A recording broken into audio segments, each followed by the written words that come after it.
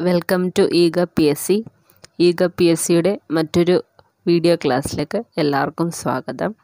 അപ്പോൾ ഇന്ന് നമ്മൾ ചെയ്യാൻ പോകുന്നത് ഒരു ക്ലാസ് ആയിട്ടല്ല നമുക്കറിയാം ഇരുപതാം തീയതി സി പി ഒയുടെ എക്സാം ഉണ്ട്. അപ്പോൾ നമുക്ക് പ്ലസ് ടു മെയിൻസിന്റെ എക്സാമുകൾ നടന്നുകൊണ്ടിരിക്കുകയാണ്. ഇതുവരെ നമുക്ക് എക്സൈസിന്റെയും ഫയർമാന്റെയും അതുപോലെ ലീഗൽ മെട്രോളജിയുടെ ഇൻസ്പെക്ടിങ് അസിസ്റ്റന്റ് അങ്ങനെ മൂന്ന് എക്സാമുകൾ കഴിഞ്ഞു.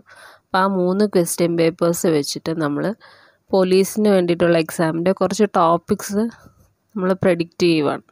അപ്പോൾ ഈ മൂന്ന് ക്വസ്റ്റ്യൻ പേപ്പേഴ്സ് അനലൈസ് ചെയ്തിട്ട് റിപ്പീറ്റ് ചെയ്യുന്ന കുറച്ച് ടോപ്പിക്സ് നിങ്ങളുടെ ശ്രദ്ധയിൽ കൊണ്ടുവരാൻ വേണ്ടിയിട്ടാണ് ഈ വീഡിയോ ചെയ്യുന്നത്.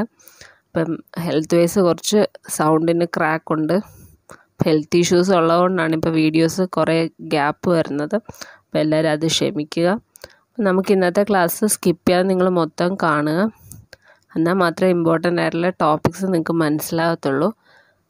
നമ്മളിതൊരു പ്രഡിക്റ്റ് ചെയ്യുന്ന കാര്യം മാത്രമേ ഉള്ളൂ. ഒരേ പാറ്റേണിലുള്ള ക്വസ്റ്റ്യൻസ് ഈ മൂന്ന് ക്വസ്റ്റ്യൻ പേപ്പറിൽ റിപ്പീറ്റ് ചെയ്യുന്നതുകൊണ്ട് പറയുന്നതാണ്. അപ്പോൾ റിവിഷൻ ചെയ്യുമ്പോൾ ഈ കാര്യങ്ങളൊക്കെ കുറച്ചൊന്ന് സ്ട്രെസ് ചെയ്ത് നോക്കുക എന്നുള്ളതേ ഉള്ളൂ. ഇത് തന്നെ വരുമെന്ന് നമുക്ക് ഉറപ്പൊന്നും പറയാൻ പറ്റത്തില്ല. എന്നാലും നമ്മൾ നോക്കിയില്ല എന്നുള്ള ഒരു വിഷമം വരാൻ പാടില്ല. നമ്മൾ എല്ലാവരും കൂടെ പ്രതീക്ഷയോടെ നോക്കിയിരിക്കുന്ന ഒരു എക്സാമാണ് അതുകൊണ്ട് തന്നെ വീഡിയോ നിങ്ങൾക്ക് എന്തായാലും ഉപകാരപ്പെടും. അപ്പം നമുക്ക് ടോപ്പിക്സിലേക്ക് കടക്കാം. ഫസ്റ്റ് നമ്മൾ പറയാൻ പോകുന്നത് ഭരണഘടനയിൽ റിപ്പീറ്റഡ് ആയിട്ട് ചോദിച്ചിട്ടുള്ള ഏരിയാസാണ് നിങ്ങൾ ഈ മൂന്ന് ക്വസ്റ്റ്യൻ പേപ്പർ അനലൈസ് ചെയ്താൽ തന്നെ നിങ്ങൾക്ക് മനസ്സിലാവും കൂടുതലും ഭരണഘടനയായിട്ട് റിലേറ്റ് ചെയ്തിട്ടുള്ള കാര്യങ്ങളാണ് ചോദിച്ചിട്ടുള്ളത്. അതിൽ നിന്ന് തന്നെ നമുക്ക് കൂടുതൽ മാർക്ക് സ്കോർ ചെയ്യാൻ സാധിക്കും. അപ്പം അതിൽ നമുക്ക് ചോദിച്ചിട്ടുള്ള എല്ലാത്തിലും കോമൺ ആയിട്ട് വരുന്ന ടോപ്പിക്സും ചോദിച്ചിട്ടുള്ള ഏരിയാസും പറയുവാണ്. ഫസ്റ്റ് നമ്മൾ റിട്ടുകൾ ചോദിച്ചു. അത് റിട്ടാണ് നമുക്ക് ക്വസ്റ്റിനായിട്ട് വന്നിട്ടുള്ളത്. അതുപോലെ തന്നെ ഭേദഗതികളുമായിട്ട് റിലേറ്റ് ചെയ്തിട്ടുള്ള ക്വസ്റ്റ്യൻസ് ഉണ്ടായിരുന്നു. അതിൽ തന്നെ നാൽപ്പത്തി നാലാം ഭരണഘടന ഭേദഗതി റിപ്പീറ്റ് ആയിട്ട് ചോദിച്ചിട്ടുണ്ട്. പിന്നെ മൗലികാവകാശങ്ങളുടെ ഏരിയയിൽ നിന്ന് ഡീറ്റെയിൽ ആയിട്ട് തന്നെ നമുക്ക് പോർഷൻസ് ചോദിച്ചിട്ടുണ്ട്. അതുപോലെ തന്നെ ചില ഭരണഘടനയായിട്ട് റിലേറ്റ് ചെയ്തിട്ടുള്ള പദങ്ങൾ ടേംസ് ചോദിച്ചിട്ടുണ്ട്. എക്സാമ്പിൾ നമുക്ക് ജെറി മാൻഡറിങ് ചോദിച്ചായിരുന്നു അല്ലെ എക്സൈസിന് അപ്പം അങ്ങനത്തെ ടേംസ് കുറച്ച് പഠിച്ചു വെക്കുക പിന്നെ ഭരണഘടനാ സ്ഥാപനങ്ങൾ അതുപോലെ ഭേദഗതികളുമായിട്ട് ബന്ധപ്പെട്ട അനുച്ഛേദങ്ങൾ ആർട്ടിക്കിളുകൾ ചോദിച്ചിട്ടുണ്ടായിരുന്നു. ഇപ്പോൾ ആർട്ടിക്കിൾ മുപ്പത്തൊമ്പത് ചോദിച്ചായിരുന്നു. അതുപോലെ തന്നെ പട്ടികജാതി പട്ടികവർഗ കമ്മീഷനെയും തിരഞ്ഞെടുപ്പ് കമ്മീഷനെ റിലേറ്റ് ചെയ്തിട്ടുള്ള ആർട്ടിക്കിളൊക്കെ ചോദിച്ചു. അപ്പോൾ അങ്ങനെയുള്ള ആർട്ടിക്കിൾ ആർട്ടിക്കിൾ എല്ലാം പഠിക്കാൻ പറ്റിയില്ലെങ്കിൽ ഇങ്ങനെയൊക്കെയുള്ള കാര്യങ്ങൾ കുറച്ചും കൂടെ സ്പെസിഫൈ ചെയ്ത് പഠിക്കുക. അതുപോലെ തന്നെ ഭരണഘടന കടമെടുത്ത ആശയങ്ങളൊക്കെ നമുക്ക് ചോദിച്ചിട്ടുണ്ടായിരുന്നു. പിന്നെ അതുപോലെ തന്നെ ഭരണഘടന നിയമനിർമ്മാണ സഭ. അപ്പോൾ നമുക്ക് ഡ്രാഫ്റ്റിംഗ് കമ്മിറ്റിയുടെ ചെയർമാനൊക്കെ ഈ അടുത്തിടയ്ക്ക് ചോദിച്ചായിരുന്നു. അപ്പം അത് നോക്കുക ലിസ്റ്റുകൾ ലിസ്റ്റുകൾ മെയിനായിട്ടും നമ്മൾ ലിസ്റ്റുകൾ പറയുമ്പോൾ തന്നെ ചോദിച്ചത് വിദ്യാഭ്യാസമാണ്. വിദ്യാഭ്യാസം അത് ഭേദഗതിയിൽ കൂടെ പറയുന്ന കാര്യമാണ് അല്ലേ? നാൽപ്പത്തിരണ്ടാം ഭരണാട ഭരണഘടന ഭേദഗതിയിൽ ചില വകുപ്പുകൾ കൺകറന്റ് ലിസ്റ്റിലേക്ക് മാറ്റിയ കാര്യങ്ങളൊക്കെ പറയുന്നുണ്ട്. അപ്പോൾ അതുമായിട്ട് റിലേറ്റ് ചെയ്ത് ലിസ്റ്റുകൾ പഠിക്കുക. പിന്നെ ചില ഭരണഘടനാ വിശേഷണങ്ങളൊക്കെ ചോദിച്ചായിരുന്നു. നിർദ്ദേശ തത്വങ്ങളെയും മൗലിക ആവശ്യങ്ങളൊക്കെ വിശേഷിപ്പിച്ചത് ആരെന്നുള്ളൊക്കെ പല ക്വസ്റ്റ്യൻസ് വന്നിട്ടുണ്ടായിരുന്നു. അപ്പോൾ അതുപോലുള്ള ക്വസ്റ്റ്യൻസ് നോക്കുക. അപ്പോൾ ഇത്രയാണ് മെയിനായിട്ട് ഭരണഘടന എന്ന ഭാഗത്തു നിന്ന് ചോദിച്ചിട്ടുള്ളത്.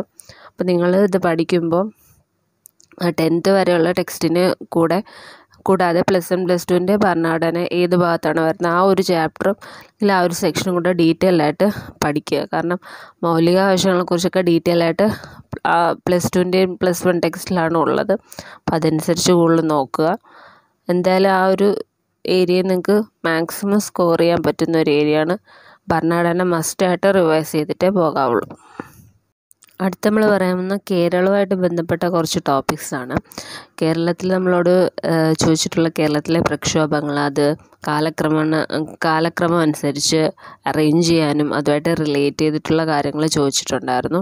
അതുപോലെ കേരള നവോത്ഥാനത്തിൽ നമ്മളങ്ങനെ സ്ഥിരം ചോദിക്കുന്ന ശ്രീനാരായണ ഗുരുവിന്റെ കാര്യങ്ങളൊക്കെ ഇപ്പോൾ ഒഴിവാക്കി നമ്മളോട് ചോദിച്ച പണ്ഡിറ്റ് കറുപ്പനും പിന്നെ പാമ്പാടി ജോൺ ജോസഫിനെയൊക്കെ കുറിച്ചിട്ടായിരുന്നു. അപ്പോൾ അങ്ങനെയുള്ള വ്യക്തികളെ ഒന്ന് ശ്രദ്ധിച്ച് പഠിക്കുക.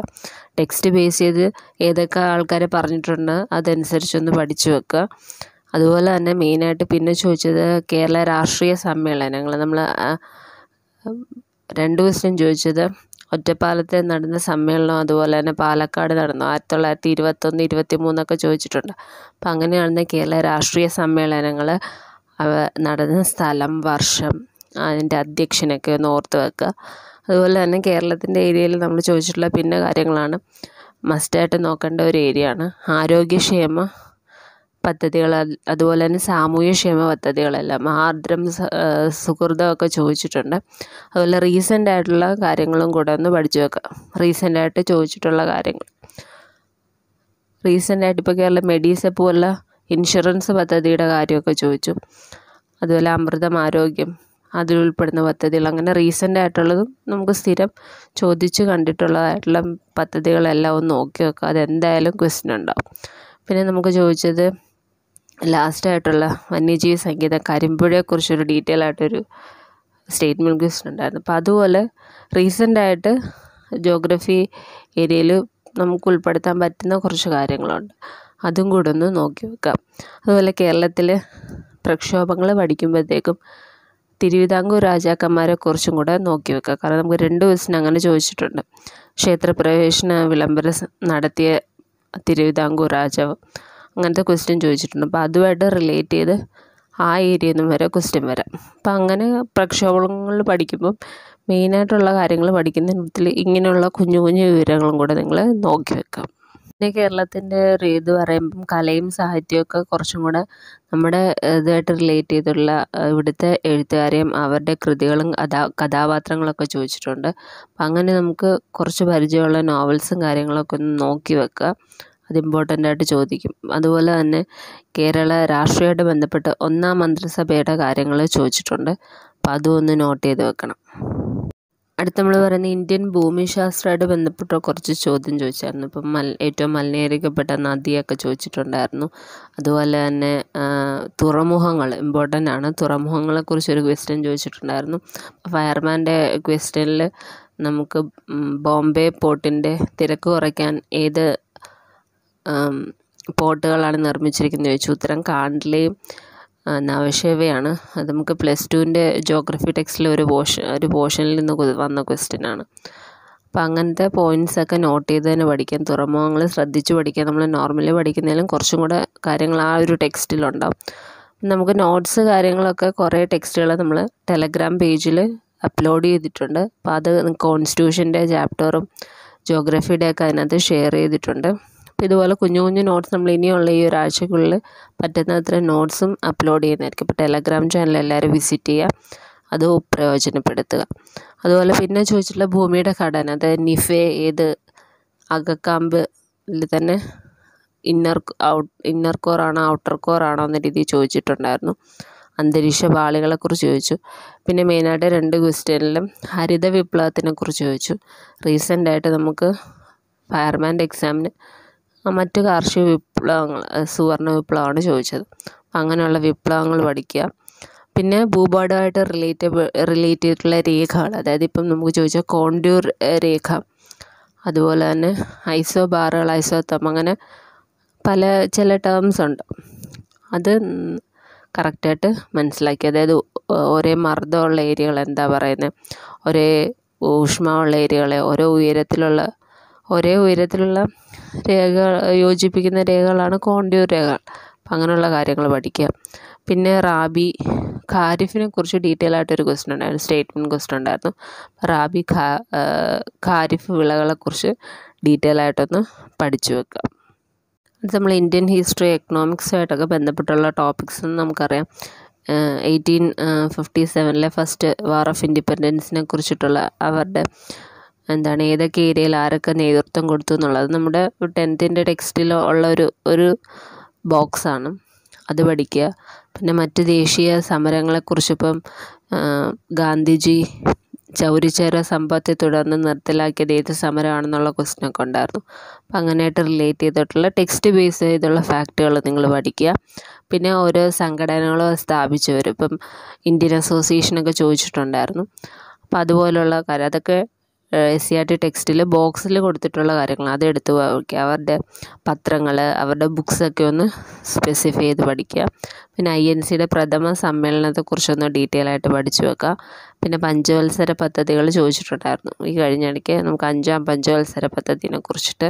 അപ്പോൾ അതിനകത്തുള്ള പ്രധാന വിശേഷണങ്ങളും കാര്യങ്ങളും ഒന്ന് പഠിച്ചു വെക്കുക പിന്നെ നമുക്ക് പഠിക്കാനുള്ളത് ഇന്ത്യയുടെ വിദേശ നയമുണ്ട്. പിന്നെ നിങ്ങൾ കഴിഞ്ഞ പ്രിലിംസിനൊക്കെ രാജാറാം മോഹൻ റോയിനെ കുറിച്ചൊക്കെ റിപ്പീറ്റ് ചെയ്ത പോലെ ഇപ്രാവശ്യം ഈ മൂന്ന് എക്സാമുകളിൽ റിപ്പീറ്റ് ചെയ്ത ഒരാളാണ് പി സി മഹലനോബിസ് നിങ്ങൾ ക്വസ്റ്റ്യൻസ് നോക്കിയാൽ മനസ്സിലാവും. അദ്ദേഹത്തെക്കുറിച്ചൊന്ന് ഡീറ്റെയിൽ ആയിട്ടൊന്ന് പഠിച്ചു വെക്കുക പിന്നെ അതിർത്തി രേഖകൾ ഇപ്പോൾ ഓരോ ആൻഡമാൻ നിക്കോബാറിന്റെ ഇടയ്ക്കുള്ളതാണ് നമ്മൾ ക്വസ്റ്റ്യൻ ചോദിച്ചത്. അപ്പോൾ അതുപോലുള്ള അതിർത്തി രേഖകൾ പഠിക്കുക രണ്ടായിരത്തി പതിനൊന്ന് സെൻസസിനെ ആസ്പദമാക്കിയുള്ള ക്വസ്റ്റ്യൻ ഉണ്ടായിരുന്നു. അപ്പോൾ അതൊന്ന് വായിച്ചു വിടുക.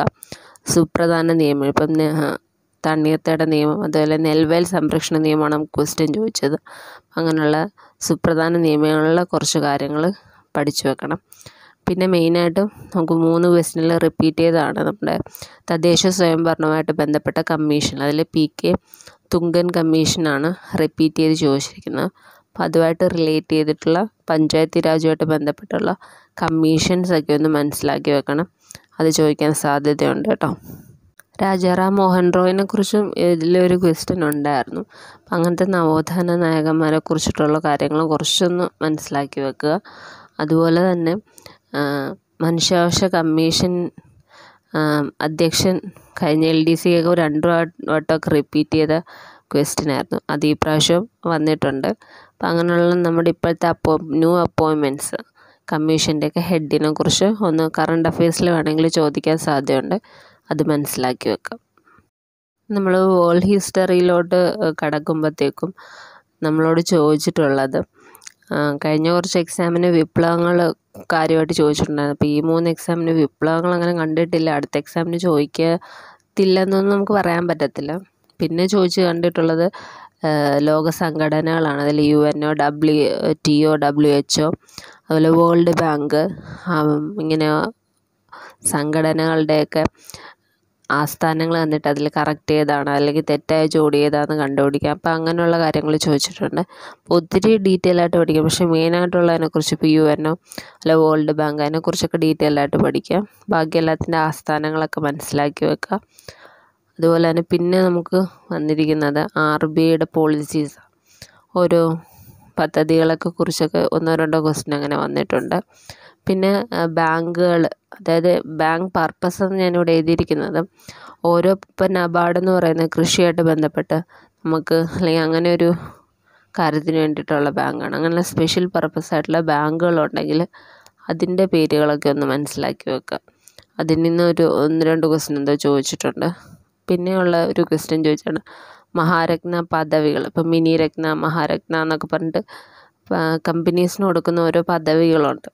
അപ്പോൾ അത് റീസെന്റായിട്ട് ആർക്കെങ്കിലും കിട്ടിയിട്ടുണ്ടോ? അപ്പോൾ അല്ലെങ്കിൽ അതെന്താണ് എന്നുള്ള കാര്യങ്ങൾ എൽ ഡി സിക്ക് ഇതുമായിട്ട് റിലേറ്റ് ചെയ്തുള്ള ക്വസ്റ്റ്യൻസ് ഉണ്ടായിരുന്നു.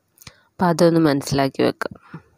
ഇനി നമ്മൾ കറണ്ട് അഫയേഴ്സിന്റെ കാര്യം പറയുന്നത്. കറണ്ട് അഫയേഴ്സിന്റെ കാര്യത്തിൽ ചോദിച്ച ഒന്ന് രണ്ട് ഒരു സെക്ഷൻ എന്ന് പറയുന്നത് രണ്ടായിരത്തി ഇരുപത്തൊന്ന് നോബൽ പ്രൈസ് ചോദിച്ചു. പിന്നെ രണ്ടായിരത്തി ഇരുപതിലെ ഇരുപത്തൊന്നിലെ ജെ സി ഡാനിയൽ പുരസ്കാരം ചോദിച്ചിട്ടുണ്ട്. രണ്ടായിരത്തി ഇരുപത്തൊന്നിലെ ഒളിമ്പിക്സും പാരാലിമ്പിക്സിനെ കുറിച്ചും ക്വസ്റ്റ്യൻ ഉണ്ടായിരുന്നു. പിന്നെ ഐ എസ് ആറോടെ പുതിയ വിക്ഷേപങ്ങൾ അതിനുപയോഗിച്ച വാഹനങ്ങൾ ചോദിച്ചിട്ടുണ്ടായിരുന്നു. പിന്നെ കൈറ്റ് വിക്ടേഴ്സിനെ കുറിച്ച് ഇപ്പോൾ റീസെന്റ് ആയിട്ട് ഒരുമാതിരി എല്ലാ എക്സാമിലും ചോദിച്ചിട്ടുണ്ട്. കേരളത്തിലെ വിദ്യാഭ്യാസ പദ്ധതി ഇപ്പോൾ അത് അവരുമായിട്ട് റിലേറ്റ് ചെയ്തിട്ടുള്ള കാര്യങ്ങളൊക്കെ ഒന്ന് മനസ്സിലാക്കി വെക്കാം. പിന്നെ ചോദിച്ചിട്ടുള്ള നീതി ആയോഗിന്റെ വികസന സൂചികൾ അതല്ല ഈ ഇടയ്ക്ക് ചോദിച്ച ദാരിദ്ര്യ സൂചിക. അപ്പം അങ്ങനെയുള്ള കാര്യങ്ങൾ റീസെന്റ് ആയിട്ടുള്ള കാര്യങ്ങൾ മനസ്സിലാക്കി വെക്കുക ഇത്രയൊക്കെയാണ്. പിന്നെ മെയിനായിട്ട് നമ്മൾ ചുറ്റിച്ചൊരു ചോദ്യമാണ്. ഇപ്പോൾ ഫയർമാന്റെ എക്സാമിന് ഒമിക്രോൺ ആദ്യമായിട്ട് വന്നത് ഏത് രാജ്യത്താണെന്ന് ചോദിച്ചു. അതുപോലെ തന്നെ സെയിം സൗത്ത് ആഫ്രിക്കയിൽ വന്ന ഒമിക്രോണിന്റെ വകഭേദം ചോദിച്ചു. അപ്പോൾ അതൊക്കെ നമുക്ക് കുറച്ചൊരു ടഫ് ക്വസ്റ്റ്യനാണ്. വകഭേദമൊക്കെ അപ്പം ഒന്ന് ജസ്റ്റ് ഒന്ന് ഒന്ന് ഓടിച്ച് നോക്കിയാൽ നമ്മൾ അതിന്റെ ഒരു പിക്ചറായിട്ട് അതിന്റെ പല വകഭേദങ്ങൾ നമ്മൾ ടെലഗ്രാം പേജിൽ പോസ്റ്റ് ചെയ്തിട്ടുണ്ട്. അപ്പോൾ അത് നോക്കുക. മെയിനായിട്ട് ഇങ്ങനത്തെ പുരസ്കാരങ്ങൾ എഴുത്തച്ഛൻ രണ്ടായിരത്തി ഇരുപത് എഴുത്തച്ഛൻ പുരസ്കാരം ചോദിച്ചിട്ടുണ്ടായിരുന്നു. അപ്പോൾ പുരസ്കാരങ്ങളൊക്കെ ഒന്ന് നോട്ട് ചെയ്ത് വെക്കുക. കറണ്ട് അഫയേഴ്സിൽ മെയിനായിട്ടും ഇത്രയും കാര്യങ്ങളാണ് കൂടുതലും ചോദിച്ചിട്ടുള്ളത്. കറണ്ട് അഫയേഴ്സിന്റെ ക്വസ്റ്റ്യൻസ് കുറച്ചും കൂടെ ഒന്ന് നോക്കിയിട്ട് ഏതൊക്കെയാണ് ഈ മൂന്ന് എക്സാം വന്ന ഏരിയാസ് കുറച്ചും കൂടെ ഒന്ന് നോക്കാം ഇപ്പോഴും പറയുന്നു ഇതൊക്കെ തന്നെ വരണമെന്ന് ഒരു നിർബന്ധവും ഇല്ല പക്ഷേ നമ്മൾ ഈ മൂന്ന് എക്സാം ഒരുപോലെ ആയതുകൊണ്ട് ക്വസ്റ്റ്യൻസിന്റെ ആ ഒരു പാറ്റേൺ ഫോളോ ചെയ്യാൻ ചാൻസ് കൂടുതലാണ്. അപ്പോൾ കിട്ടുന്ന അവസരം നമ്മൾ മാക്സിമം യൂട്ടിലൈസ് ചെയ്യുക അത്രയേ ഉള്ളൂ. അപ്പോൾ ഇന്നത്തെ വീഡിയോ നമ്മൾ ചെയ്തത് പോലീസിന് വേണ്ടിയിട്ടുള്ള എക്സാമിനുള്ള കുറച്ച് ഇമ്പോർട്ടന്റ് ആയിട്ടുള്ള ജി കെ ടോപ്പിക്സ് ആണ്. അപ്പം നമ്മൾ കറക്റ്റായിട്ട് ആ മൂന്ന് ക്വസ്റ്റ്യൻ പേപ്പേഴ്സ് അനലൈസ് ചെയ്ത് പഠിച്ചാൽ എന്തായാലും നിങ്ങൾക്കൊരു നാലഞ്ച് മാർക്കിന്റെ ഒരു ബെനിഫിറ്റ് എന്തായാലും കിട്ടും. അതുപോലെ തന്നെ ഈ ചാനൽ ഇതുവരെ സബ്സ്ക്രൈബ് ചെയ്യാത്തവർ തീർച്ചയായിട്ടും സബ്സ്ക്രൈബ് ചെയ്യുക. നിങ്ങൾക്ക് വളരെ യൂസ്ഫുൾ ആയിരിക്കും. ഇനിയുള്ള ക്ലാസ്സസ് ആണെങ്കിൽ നമ്മൾ ടെൻത്ത് പ്രിലിംസിനെ ബേസ് ചെയ്തിട്ടുള്ള ക്ലാസ്സസ് ഒക്കെ വൈകാതെ അത് ഫുള്ളി കോൺസെൻട്രേറ്റ് ചെയ്ത് തുടങ്ങുന്നതായിരിക്കും. അതുപോലെ തന്നെ ടെലഗ്രാം ചാനൽ സബ്സ്ക്രൈബ് ചെയ്യാൻ മറക്കരുത്. അതിൽ ജോയിൻ ചെയ്യുക. നിങ്ങൾക്ക് ആവശ്യമുള്ള നോട്ട്സ് ചെറിയ ചെറിയ ടിപ്സ് കാര്യങ്ങളൊക്കെ നമ്മൾ അതിൽ പോസ്റ്റ് ചെയ്യുന്നതായിരിക്കും. ഇന്നലത്തെ ഫയർമാന്റെ എക്സാമിന്റെ മാത്സിന്റെ ഡീറ്റെയിൽഡ് എക്സ്പ്ലനേഷൻ നമ്മൾ എഫ് ബി പേജിലും ടെലഗ്രാം ചാനലിലും അപ്ലോഡ് ചെയ്തിട്ടുണ്ട്. അപ്പോൾ അതൊക്കെ നിങ്ങൾ അനലൈസ് ചെയ്യുക നല്ല രീതിയിൽ പഠിക്കുക. അതുപോലെ സയൻസിന്റെ ആണെങ്കിലും കുറച്ച് ക്വസ്റ്റ്യൻസ് റിപ്പീറ്റഡ് ആയിട്ടുണ്ട്. അപ്പോൾ അത് ഞാൻ ടെലഗ്രാമിൽ ടോപ്പിക്സ് കുറച്ച് കുറച്ച് അടുത്ത ദിവസം തന്നെ മെൻഷൻ ചെയ്തിടുന്നതായിരിക്കും. അപ്പോൾ അത് നിങ്ങൾ നോക്കുക. അപ്പം വരുന്നൊരു നല്ലൊരു ചാൻസാണ് അത്യാവശ്യം വേക്കൻസീസ് ഉള്ളൊരു പോസ്റ്റാണ് അപ്പോൾ എല്ലാവരും യൂട്ടിലൈസ് ചെയ്യുക നല്ല രീതിയിൽ എക്സാം എഴുതാൻ സാധിക്കട്ടെ. താങ്ക്